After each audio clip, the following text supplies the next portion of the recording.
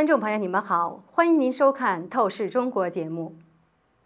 据香港《苹果日报》报道，天津教育电视台日前出现所谓“反江泽民”的口号，其内容是绝密消息：江泽民和俄罗斯签订条约，出卖了相当于一百个台湾的土地。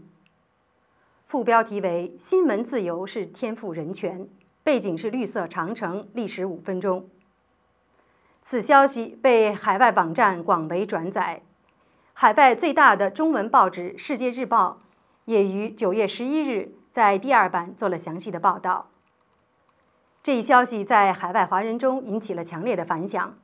观众朋友也许会问：江泽民真的出卖国土了吗？他与俄国到底签订了什么条约？内容是什么？他为什么要签订这些条约呢？好，观众朋友们。在这次的热门话题栏目中，就您关心的这些问题，请您和我们一起走访一些专家学者，听一听他们是怎么说的。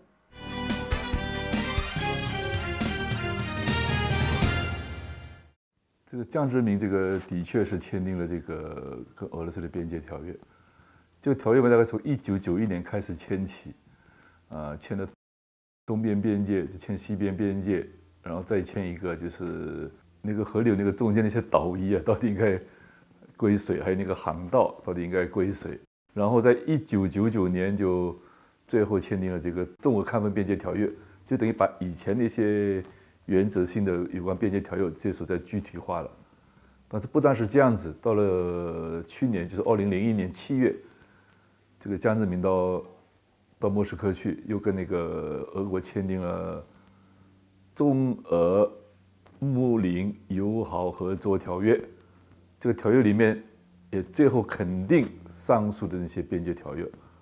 东北的土地嘛，我们大家都很有印象，在有一个珍宝岛事件哈。那我想先知道，这个珍宝岛通过这个条约，这个岛也被呃苏联拿回去了吗？这个珍宝岛倒是要回来了，但是是这样子，就是这次签订边界条约以后，就等于说是把以前苏联俄俄国拿去土地。等于承认了他们拿去了，但是在这次具体的划分边界的时候，又把一部分有争议的土地又划给俄国。可以说，在有争议土地当中啊，大部分都是给了俄国，就小部分我们才才拿得回来。就比如说，因为珍宝岛这个事件，因为一九六九年爆发过战争，所以大家的印象很深刻，好像这个是中国领土。如果说这是划分当中给俄国拿去了，那等于是一个江泽民就是这个卖国的形象就就太明显了。所以江泽民就千方百计一定要要求把这个珍宝岛划归到中国，但是所用的代价很大，那就把附近的另外大过珍宝岛一百五十倍的土地划给俄国，来换回这个珍宝岛这块圣地。我看到一些报道说，中俄睦邻友好条约的签订，呃，就等于失去了中国人民后代要回这些失去土地的这个最后的一个权利。我不知道这您是怎么看这个问题呢？我觉得这个这样子话讲的是对的，因为第一点，这个中国从来不承认这个不平等条约，那就说明中国将来还是有机会把这个失去的土地要回来。第二就是这个俄国实业社会主义革命，那是一九一七年，啊，他们胜利了以后，在一九一九年跟一九二零年先后发表两次对华宣言，这个宣言里面就讲嘛，就是说。沙皇，俄国时候从中国掠夺去的土地，将无偿的交回给中国。对，列宁确实这样讲过，但是列宁这话没有兑现，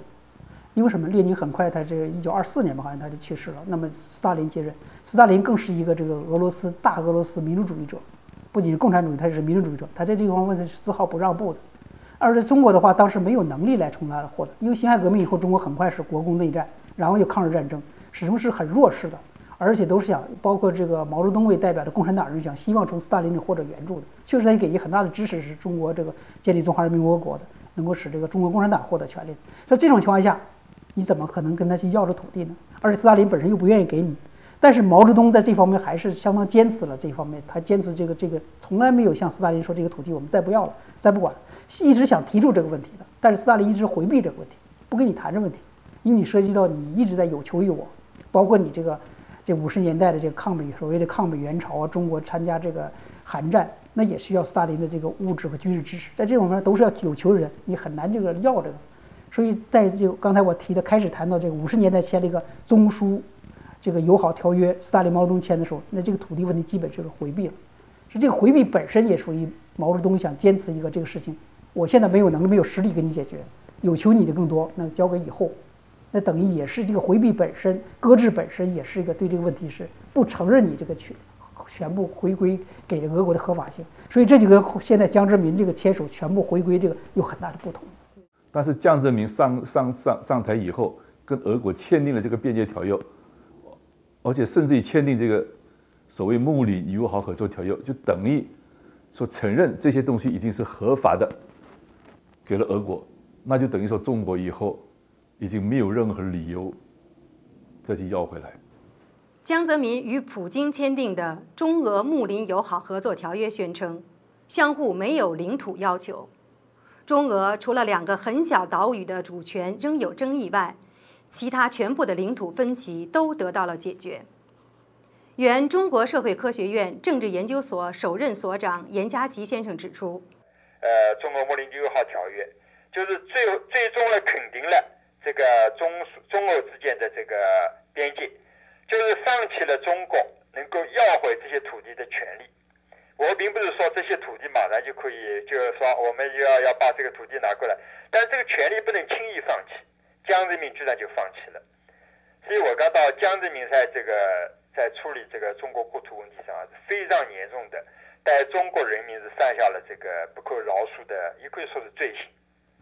中俄睦邻友好合作条约明文肯定了中俄边界的现状。并把百分之九十七的边界走向当做中俄两国的正式国界，也就是说，中国政府正式承认了三百多年来与俄国签订的一个又一个不平等条约，正式承认了被俄国所侵占的大约一百多万平方公里的中国领土为俄国所有。难怪严家琪先生发出感慨：中俄边界倒退三百年。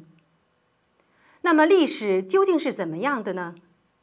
观众朋友们，让我们一起回顾一下三百多年来中俄边界的历史。十六世纪中叶以前，沙俄原是个欧洲国家，与中国本不接壤。后来，沙俄不断扩张，侵占了广大的西伯利亚，才与中国边境相邻。从清朝顺治以来，沙俄就不断入侵中国的黑龙江流域，强占中国大片土地。一六八五年，康熙大帝派军包围俄军盘踞的雅克萨城，痛歼侵略军，沙俄政府请求停战。康熙二十八年，即一六八九年，中俄双方经过历时十四天的谈判，正式签署了中俄两国第一个边境条约——尼布楚条约。条约规定。中俄东段边界以外兴安岭至海、格尔毕齐河和额尔古纳河为界，这就从法律上肯定了黑龙江、乌苏里江流域，包括库页岛在内的广大土地都是中国领土。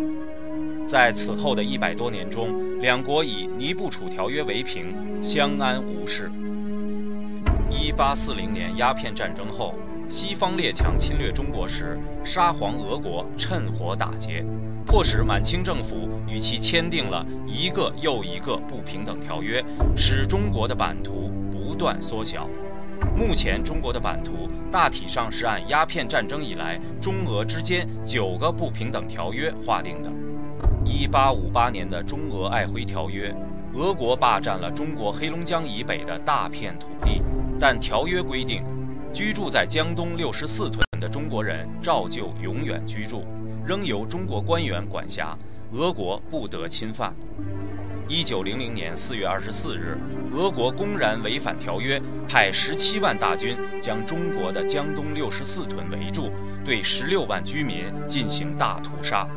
最后把剩下的男子集中在黑龙江边，用子弹逼入江中，一一射杀或淹死，偌大的黑龙江为之染红。中国是个人均耕地面积和自然资源占有量极度匮乏的国家，尤其到了现在，因为荒漠化和严重的水土流失，中华民族已退到了沿海一湖、沿江一线。因此，本属于中国的黑龙江对岸的肥沃土地和原始森林，就成为中华民族最为宝贵的生存空间和未来发展的希望。那么，对于一个人和对一个民族来说，最基本东西就是就是生存，啊，就是要吃饭，呃，要喝水，要呼吸空气，是吧？那么，当中国人的这个生存空间由于自己人口的这种急剧的膨胀，然后呢，你的土地还是这么多啊，那么你的人均的生存空间就是极大的缩小了。再加上近几十年以来中国的这个严重的水土流失和荒漠化，所以等于是把这个中国的一半以上的土地，就等于是对于中国来说，实际上没有没有什么可以利用的价值了。你比如说，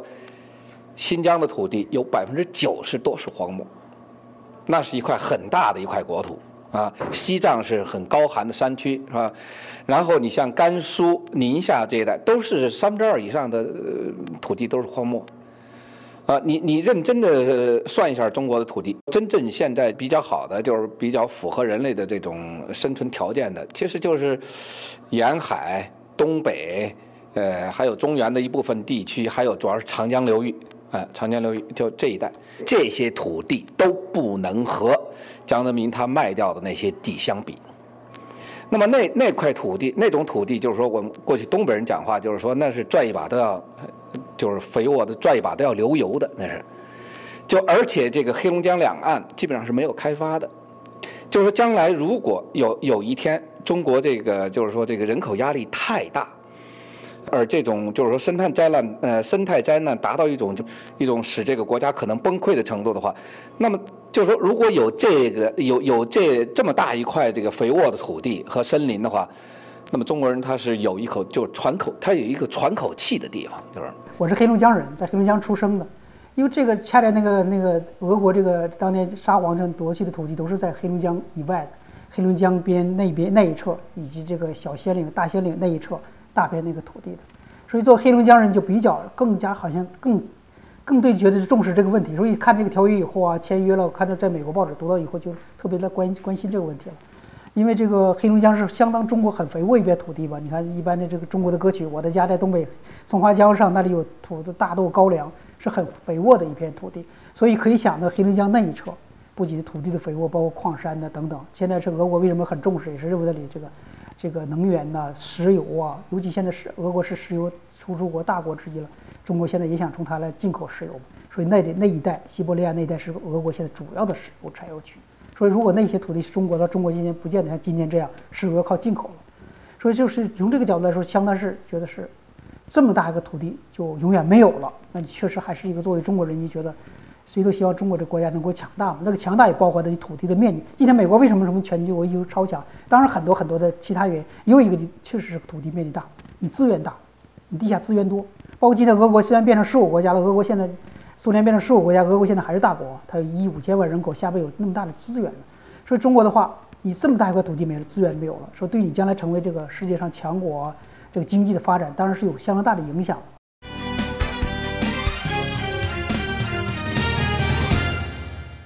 观众朋友们，通过专家学者们的介绍，以及我们对中俄边界历史的回顾，我们对江泽民与俄国签订条约给中华民族及其子孙后代所带来的严重后果有了一定的认识。那么，江泽民为什么要签订这些条约呢？在下次的《透视中国》节目中，专家学者将继续与您探讨。好，观众朋友们。谢谢您收看我们的《透视中国》节目，我们下次节目再会。